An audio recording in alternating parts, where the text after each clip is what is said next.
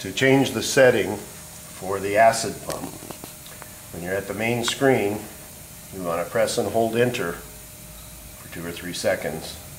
That brings you into this menu. We want to go to the relay menu to change the pH setting. R1 is for the high and low pH alarm. R2 is the acid pH setting. We want to go to this screen.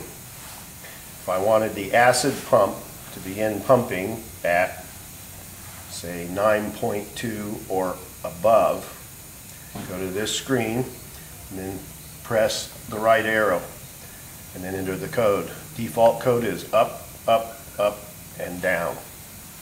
Go to the digit that you want to change.